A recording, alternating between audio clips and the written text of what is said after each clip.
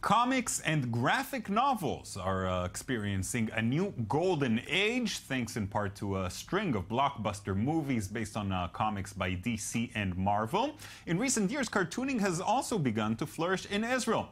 A new exhibition at the Israel Cartoon Museum in Holon showcases the work of some of the country's leading female artists in the field. Maya Margit has more. Comic art is undergoing a renaissance in Israel, and women are playing a significant role. Landmark exhibition at the Israeli Cartoon Museum features the works of 14 of the country's top female artists. Titled The Museum of One's Own, inspired by Virginia Woolf's famous feminist text, much of the show is devoted to Friedel Stern, a trailblazing artist who taught three generations to follow in her creative footsteps. Friedel Stern is a very is a very unique character. She's basically one of a kind. She's the only female cartoonist of her generation. She did uh, cartooning, not editorial cartooning, not political cartooning, but gag cartooning and illustrative work and a lot of graphic work. The exhibition marks 100 years since the birth of Stern, who emigrated from Germany to Israel at the age of 20. Drawn to art from an early age, she soon became the first female cartoonist to work in the comics medium after the state was established in 1948. The Israeli Museum in Holon houses roughly 13,000 works by Stern, and some of them are on display for the first time. Alongside her illustrations stand those by other women working in the same medium, in what has become an increasingly popular art form. In fact, since Stern passed away 10 years ago, comics and cartoons have taken off in Israel, many artists now gaining recognition both at home and abroad people like Asaf and Tomer Hanuka, who with Boaz Lavie just last week won the International Manga Award, which is amazing for their work, The Divine.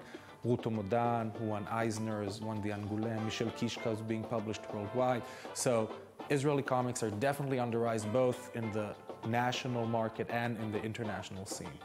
Hila Noam, one of the cartoonists participating in the groundbreaking exhibition at the Holon Museum, has also noticed a decisive shift in the way comics are perceived in Israel. A few years ago, you couldn't really hear about comics a lot, and only a few people who knew about it. Her illustrated book, Omnibus, created in collaboration with Einat Tsarfati, presents the stories of two women trying to escape pervasive feelings of guilt.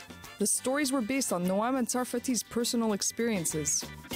Autobiography is a recurring theme in many of the works on display. Ilana Zeffren, another artist in the show, believes this is actually a defining characteristic of Israeli comics. I think what's interesting here is that because we don't have a tradition of comics like in Europe or in uh, the States, like the we don't have the whole uh, superhero uh, industry or Asterix or Tintin in Europe. So the comics here is more uh, alternative and personal many times and less uh, mainstream. So, what is it about the comics medium that makes it so appealing for contemporary artists? I choose to work in the comics medium because, for me, as a comics creator, it is the best way to tell a story. I can basically control what the viewer sees, as well as what they read. The combination of text and image is what leads to a strong story. Ultimately, the comics exhibited at the Israeli Cartoon Museum present an eclectic combination of styles and subject matter. Ranging from comical to mundane to dramatic, they offer a glimpse into the complexities of Israeli life and culture. A museum of one's own will remain open until the end of August. Maya Margit is joining me now in the studio to complete the picture. Uh, Maya, wonderful uh, uh, story. It looks like a, an amazing exhibition. And I'm very jealous that you uh, went there. Um, it's the fact that it focuses on female artists. Uh, um, I, I, find interesting. Is are there more female artists now in this field? Is is that a fact? Definitely. When it first started in Israel, Israel's a very young country. It was established in 1948. When it first was established, there was only one female artist, and her name was Friedel Stern. She taught at the Bezalel, uh, Academy of Arts and Design in Jerusalem. Uh, basically, she worked there for th over three decades, and mm -hmm. she taught three generations of artists. And now the artists that are working in Israel, the female artists, are really well known, not just in Israel but also abroad. They've won prizes. You know, it seems like all of the works that, that I were able uh, uh, uh, that I was able to see in, in the story are um, geared towards uh, grown-ups, not so much children. And usually, we tend to think of comics as first and foremost for kids, with some grown grown-ups that are that are uh, you know attached to it as well. In Israel, that is not the case. Yeah, it seems that the superhero genre, which is really popular in North America, the Marvel and DC comics, is less of a thing here. It doesn't sell as well, maybe. So, really, what you get here are autobiographical or personalized comics. Uh, but there was actually one kind of hero comic there, and it's called Falafel Man by Dorit Maya Gur, and he's kind of an anti hero. His superpower is throwing falafels at people.